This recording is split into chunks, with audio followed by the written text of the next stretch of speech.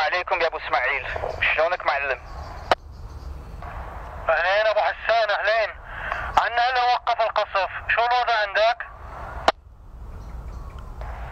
والله الوضع بخري ليش؟ إيش صاير معك؟ والله نص مجموعتنا راحت. وهلا عم بيجبرونا نرجع نتقدم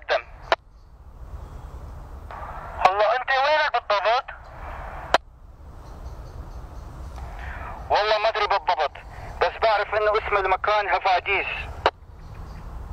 شو شو ما فهمت عليك. بس دقيقة.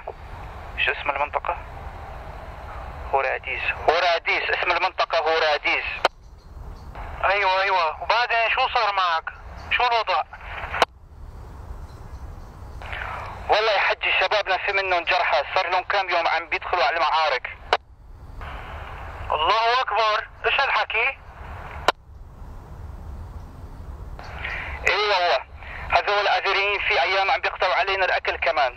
وفي كثير من الشباب معنا انجرحوا.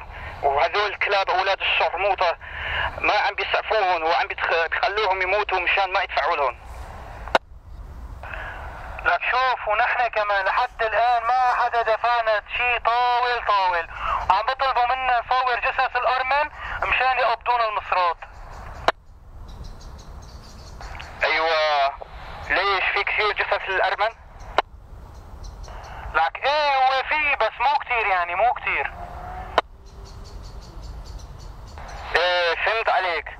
والله نحن عنا هالكم يوم ماتوا من عنا كثير شباب وعم بيشحنوا جثثهم لتركيا.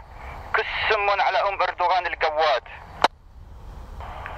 الله أكبر إذا هذا الحكي صحيح. إيش عم تحكي خيو إيه والله معلم اسمع شو أقول لك لبسوكم بدلات جيشون ولا أنتم لابسين الله؟ لا بلباس جيشون على فكرة هون معي شاب تركماني بتعرفه مين هو؟ هذا اللي كان قاعد جنبي بالطيارة إيه عرفته إيش بو إيش عم تساوي عندك؟ تدري شو قال لي؟ قال إنه سمع حكي عساكر المدفعية إنه لازم يدققوا على الأحداثيات. مشان ما يضربوا ايران بالغلط. يعني دافع من كلامك أنا إنه هلأ نحن قريبين على إيران. كلي يا معلم.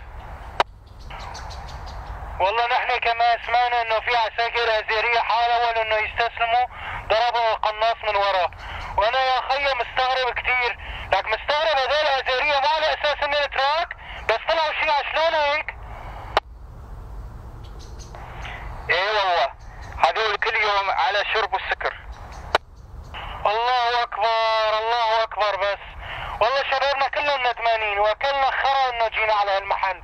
ما بنعرفه ما بنعرف مشان شو عم نحارب. كس أخت الحالة عرصة على هاليوم اللي جينا فيه لهون. أقسم برب العباد إنه بدنا نهرب على إيران خلص. والله ما بعرف يا معلم شو راح يصير. لسه هذول عندهم طيارات عم بيضربوا الارمن ولا نحن كنا رايحين فرم واجا هذا الضابط ابن القحبة عم يجي يقول هاجموا وجيش واقف ورانا. إيه خيو إيه خيو منيح. يلا ده حكينا مع بعض. أنا راح أخبر الشباب وإن شاء الله نحسن نطلع من هون سوا. إيه خبرني مشان نطلع سوا.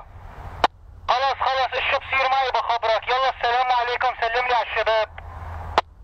ماشي حبيبنا. والسلام عليكم.